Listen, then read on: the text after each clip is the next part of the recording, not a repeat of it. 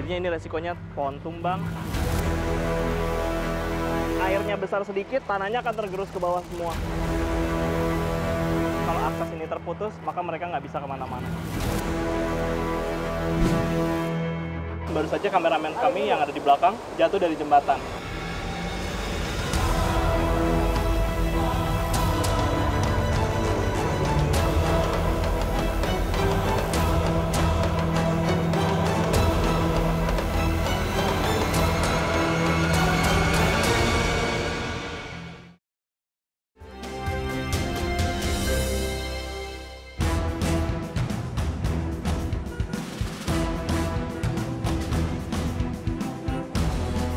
Perjalanan tim Indonesiaku kali ini membawa kesan yang begitu mendalam.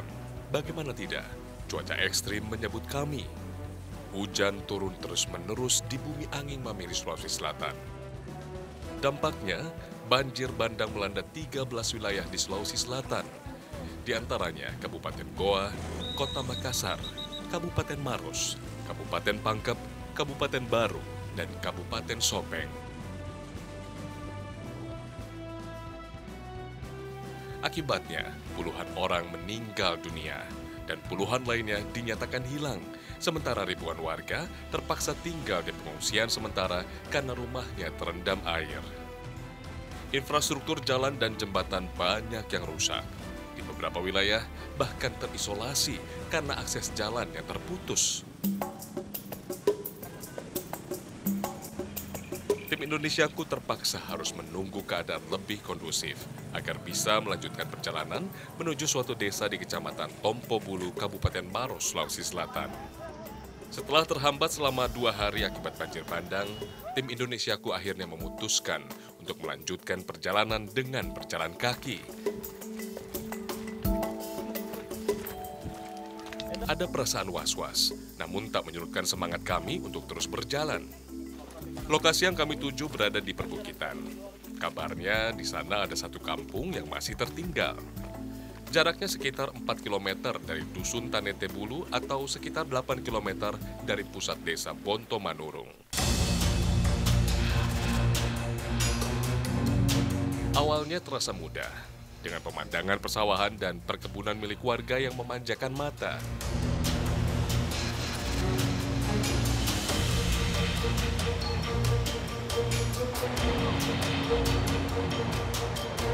Pemirsa, ini adalah sungai pertama yang harus kita lalui untuk menuju ke Kampung Barabaraya.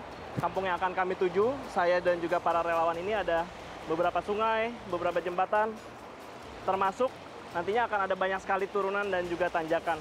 Kita akan lihat seperti apa kehidupan mereka selengkapnya dalam Indonesiaku kali ini.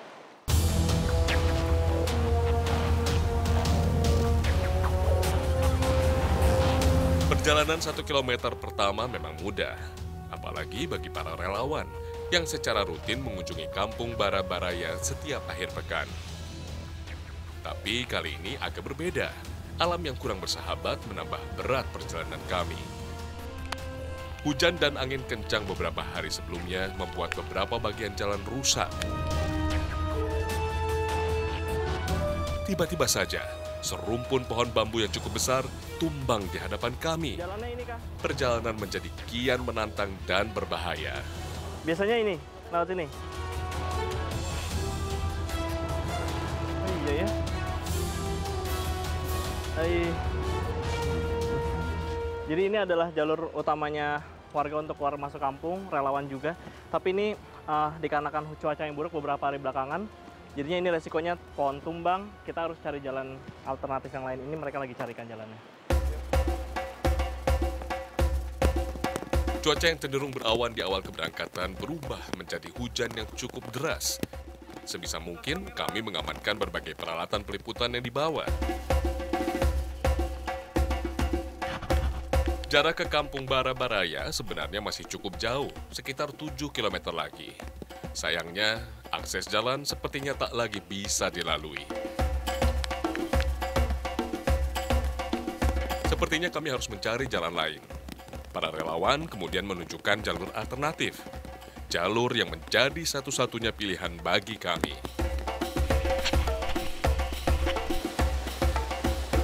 Cukup berbahaya jika tak berhati-hati, kami bisa terprosok jatuh. Jadi di tanah Sulawesi ini rawan longsor pemirsa, airnya besar sedikit, tanahnya akan tergerus ke bawah semua.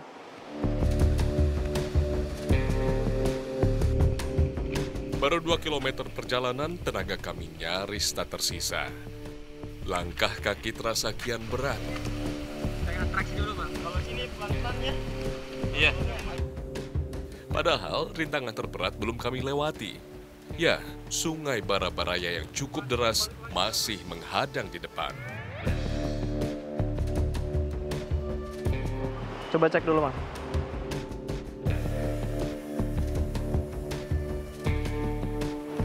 Aman? Jadi jembatannya lagi dicek dulu pemirsa untuk tahu aman atau tidaknya untuk kita lewati karena kita ada beberapa relawan yang perempuan juga dan ada beberapa orang yang belum pernah masuk ke kampung ini termasuk saya. Semoga kita bisa melalui karena ternyata jembatannya tidak tertutup penuh dengan bambu dan juga kayu. Mudah-mudahan kita bisa sampai ke seberang sana. Aman? Setelah pengecekan jembatan dirasa aman untuk dilewati, kami pun menyeberang bergantian. Titian dari papan kayu sederhana yang menjadi pijakan. Sementara untuk pegangan, kami memanfaatkan kayu dan bambu yang ada.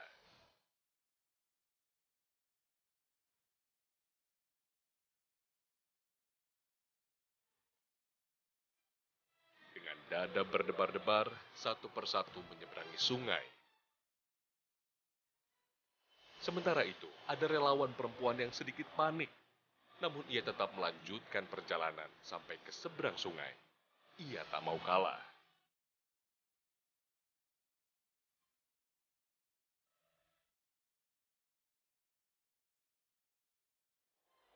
Ini luar biasa pemirsa ini salah satu jembatan yang paling ekstrim yang pernah saya lalui selama di Indonesiaku. Ini yang harus dilalui oleh para relawan. Mereka seminggu sekali mengajar dengan cara seperti ini melalui ini. Tapi kalau warga ini setiap hari mereka lalui dari uh, luar maupun uh, dari dalam kampung untuk menuju ke desa-desa lainnya. Jadi anda bayangkan kalau akses ini terputus maka mereka nggak bisa ke mana-mana. Meski melewati jembatan seadanya bukan yang pertama bagi saya, tetap saja ada perasaan ngeri. Kaki dan tangan terasa gemetar, apalagi melihat derasnya aliran sungai Bara-Baraya di bawah kaki saya. Setelah pengecekan jembatan dirasa aman untuk dilewati,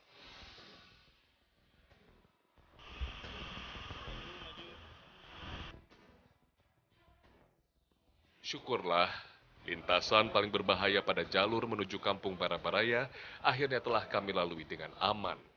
Perjalanan pun dilanjutkan.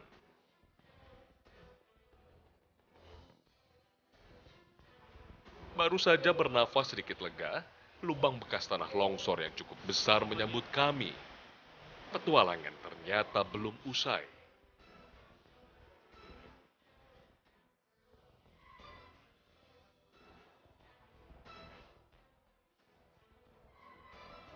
Awas. Longsor semua jalannya di sini karena cuacanya buruk beberapa hari terakhir. Jadi kita bakal harus lewat jalan-jalan kayak gini karena jembatannya ha- hancur kayak gini. Ayo, bisa? Kewaspadaan kembali ditingkatkan. Perlahan kami kembali berjalan. Nampak di depan kami bagian tanah yang longsor tergerus hujan. Sungguh, perjalanan yang tidak bisa dianggap enteng.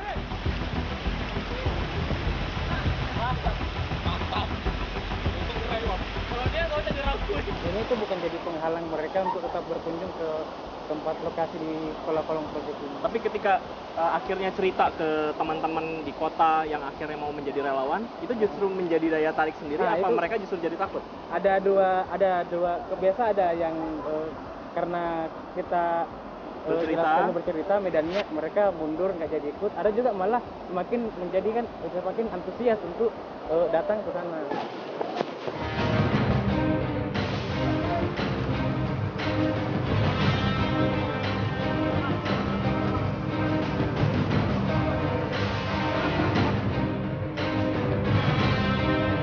Karena fokus pada tugasnya mengambil gambar, asisten produser Indonesiaku terpleset jatuh.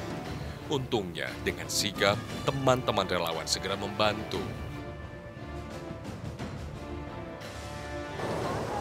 Jadi dengan buruknya cuaca dan juga tanahnya Sulawesi yang rawan longsor, apalagi kalau hujan deras seperti ini, bukan cuma relawan, bukan cuma warga mengalami kesulitan, tapi kami tim liputan juga, juga merasakan hal yang sama. Di beberapa daerah terjadi, dan baru saja kameramen kami yang ada di belakang, Mas Radit, ini jatuh dari jembatan. Karena berusaha untuk mengambil gambar para relawan dan juga saya ketika menyeberang tadi. Pengalaman yang takkan kami lupakan. Jatuh dari ketinggian 2-3 meter tentunya sangat berbahaya. Kami sangat bersyukur masih diberi keselamatan oleh Tuhan. Gak apa-apa, nggak ada yang luka. Mas, dikit. Sebentar mas. Alhamdulillah memar dikit. Jadi pemirsa ini yang terjadi sama tim liputan ya, reporter ataupun kameramen, resikonya sama-sama besar. Apalagi mereka yang memang setiap hari bawa peralatan sangat banyak. Mas, ini kan salah satu eh, medan kita yang cukup parah ya. Di Sulawesi memang banyak sekali medan yang kayak gini. Setelah ikut liputan, sebagai kameramen yang eh, mengcover semua gambar di sini, setelah jatuh berkali-kali merasakan kira-kira gimana perasaannya eh, sebagai tim liputan yang memang mengalami ini hampir setiap bulan, setiap desa kita lalui seperti ini. Kadang tuh kalau kameramen itu eh, harus lewat jalur yang nggak biasa dilewatin sama yang di yang di shoot gitu lah sama objeknya gitu. Iya. Makanya tadi saya lewat yang sebelah situ niatnya sih pengen ngambil cover yang ngambil dari atas gitu Ya, loh.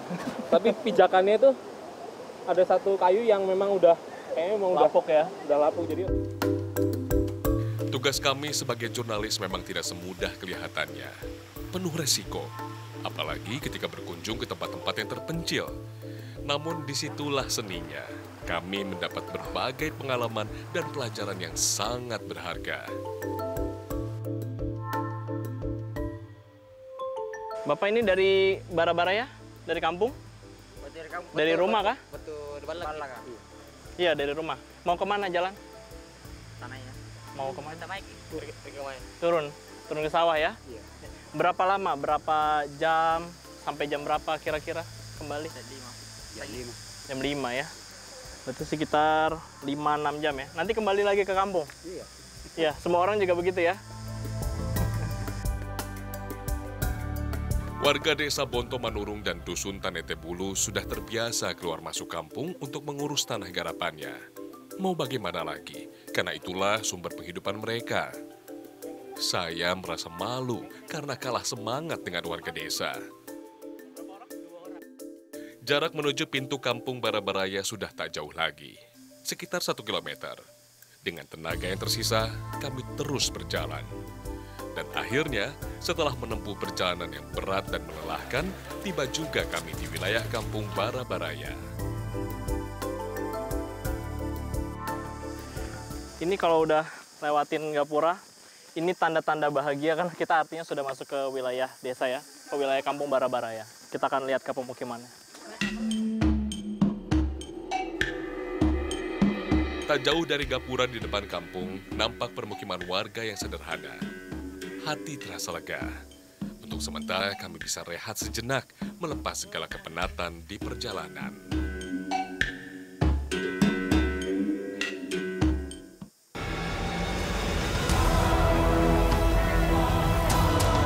Jadi gurunya sebenarnya ada?